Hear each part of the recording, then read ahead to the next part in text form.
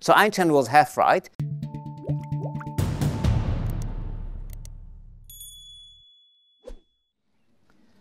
And here is the man to whom we owe this great revolution, special and general relativity. He was a great man. He was also a good man. Now you know his life, and I'm going into gossip, but this gossip is important for philosophy and then later for physics. We are going into a little gossip about Albert Einstein. He was very young when he had a friend, his age, Michele Besso. And Michele Besso helped him throughout his life to a degree, you know, he was his angel. He helped him get a job in the patent office.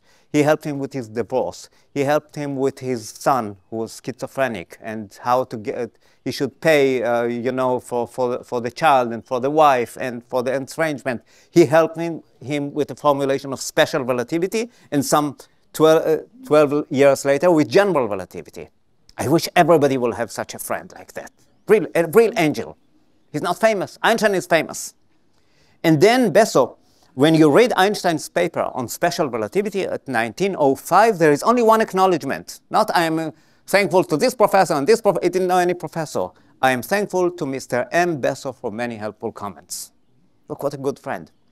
And then Besso, after studying, doing his PhD in physics, he turned into philosophy. And Einstein was mad at him. Why did you go to philosophy? You could be a, a very good physicist. And then Besso said, you know, I love special and general relativity. He loved them because he helped Einstein with their formulation, with his comments. But there is something missing. What's missing? What Avshalom is now. He didn't know me. What, what, what I'm now talking about, the passage of time. Time is moving. Time is passing. And Einstein said, oh, here you go again. There is no irreversibility in the basic laws of physics. You have to accept the idea that subjective time with its emphasis of the now has no objective meaning. Yeah, I know it's important for you, but it's not real. It's only an illusion. All right, a few years have passed. Sorry, a, a few years seems to have passed because they don't pass. And something happened which makes everybody understand that time is, what do you know, passing. Einstein got a letter from the son of Michele Besso. My father passed away. Einstein had only four weeks to live. He had aneurysm and he knew that his end is coming. And now you have to send your condolence to the young man. Michele has preceded me a little in leaving this strange world. This is not important. For us, who are convinced physicists, the distinction between past, present, future is only an illusion, however persistent. Promise me that you will never try to condole a person for the death for the loss of a loved one with this silly argument. But what Einstein says, you know, we are convinced Besso was not, Besso was not, but we are convinced physicists. Your father is alive somewhere. He, he's just not accessible to you. There is time, there are four dimensions, not only three, and in the fourth dimension, his uh, world line is still extended and he's still there. It is just, he's not accessible to this part of your world line. So this is what Einstein would think. You see, not irreversible. I would say that he lost his friend irreversibly, but he still does not believe in irreversibility. So here it is.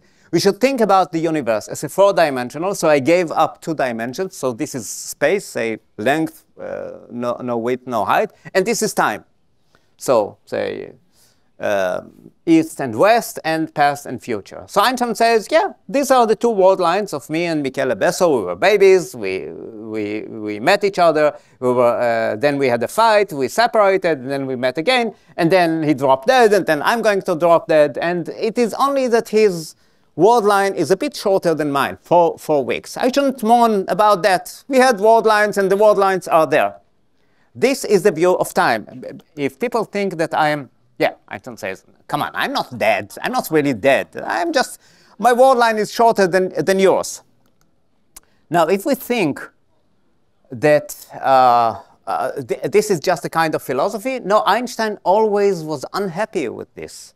And here are his words. Uh, uh it is a matter of painful, but that this experience cannot be grasped by science seems to him this is what Carnap says about Einstein, a matter of painful but inevitable resignation. They had, Einstein had uh, an argument with this uh, philosopher Carnap, and he said, we have to give it up. Look, relativity theory works. It is so beautiful, so it demands giving up this passage of time, so let's accept it. And do we have to accept it? This is the question.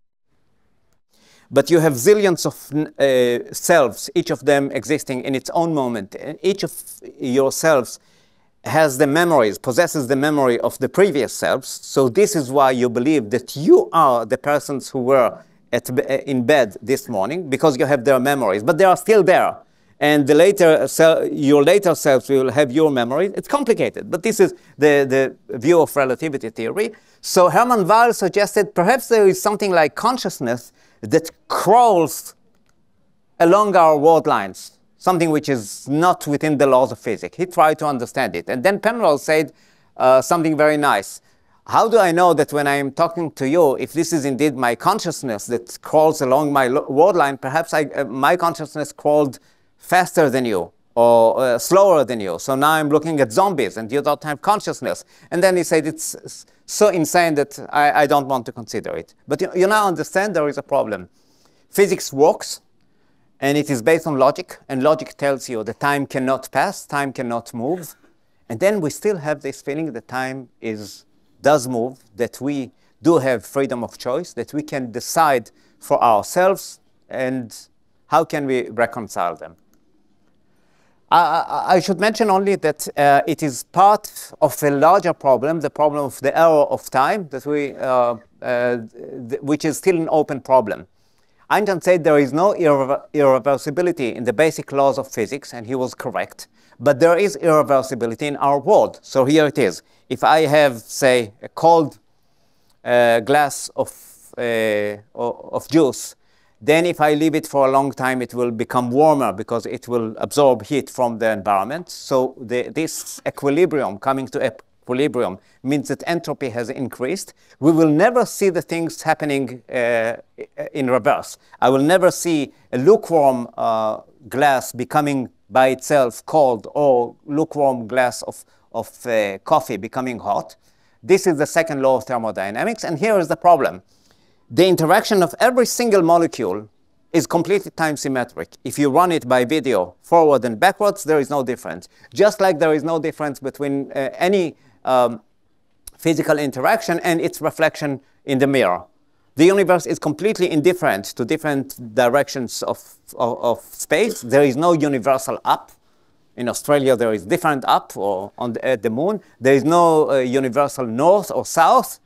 There shouldn't be any universal future or past.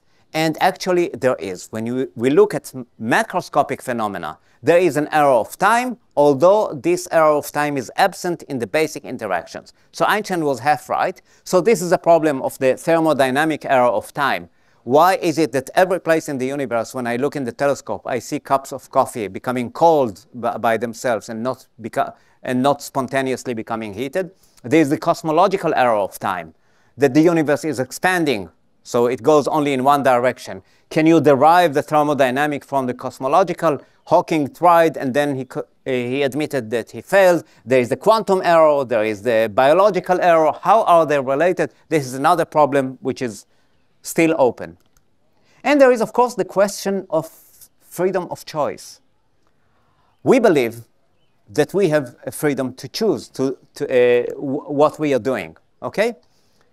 Einstein, you know, he was not a poet, but at the age of 36, he wrote a poem. And the poem was dedicated to the thinker he loved most, Spinoza. Spinoza said there is no freedom of choice. We don't have free will. It's only an illusion. If the falling stone could think, then the falling stone would think that it wants to fall. But we know that it falls not because it wants to fall, but because it has to fall.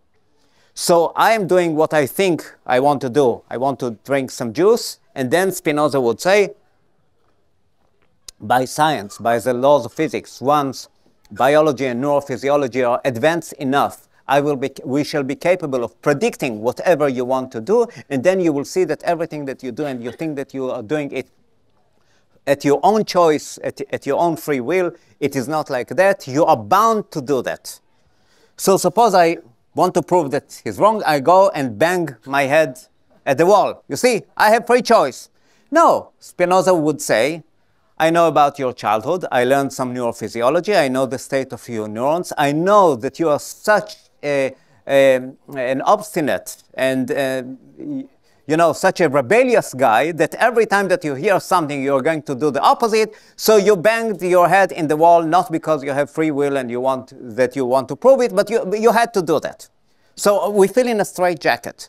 And we feel that it has something to do with the freedom of choice. And Einstein wrote that beautiful poem in German, which has been translated also into to English, how he loved Spinoza, Spinoza, that great person. Although, and here's a paradox, Einstein believed in freedom, he believed in democracy, he believed, he fought for people's uh, right to do what they want, but deeply inside, he didn't believe that there is such a thing. So we have these two problems the passage of time, which physics tells us the, the, that uh, it is an illusion. We have the arrows of time, which we don't know to this day how, to, how they are related to one another, or is there a more basic master arrow of time for which we can uh, derive them, and the, the question whether I, when I decide to do something, I am freer to do that than the cannonball whose trajectory is strictly dictated by the laws of mechanics. So quantum mechanics has been one revolution, and there is another revolution, even ma more major one, that of quantum mechanics. And now let's talk about quantum mechanics. So here's classical physics. In classical physics, when you shoot a cannonball, it can go only in one, uh, along one tra trajectory, and you can predict it, you can calculate it, if you ignore other things like clouds and, and air and, and so on. So much so that if you shoot it backwards from the place where it fell, then where is it going to return? Just to the same place. So we have determinism and time symmetry as two characteristic uh, of uh, classical physics. Things are radically different in quantum mechanics. When you send a particle, it goes in, in form of a wave and it has an actual uh, equal probabilities of ending up in several places and you can prove that this is not only that you don't know where the particle is. The particle itself does not know where it is. It can give rise to interference, just like a wave. Different parts of the wave can meet one another, cancel one another, strengthen one another. So in a very profound sense, when you shoot a quantum mechanical cannonball, then it spreads like a wave, real wave, which can give rise to interference. But at the end, it says, no, kidding, I will just a single a single particle. That's the paradox of, of, of, uh, of quantum mechanics, the problem of the wave function and collapse of the wave function and so on. So we also lose time symmetry because if eventually it ends up in one of these places and I shoot it backwards, I'm not going to get it falling to its origin. So uh, quantum mechanics is neither deterministic, not, uh, uh not determini uh, neither deterministic nor time symmetric. Now, Quantum mechanics also have something important to say about time. And it says that what we thought about time, including Einstein, is wrong and uh, time is a richer concept than what we thought. To continue watching this video, click the link in the top left or in the description below. Or visit iai.tv for more debates and talks from the world's leading thinkers on today's biggest ideas.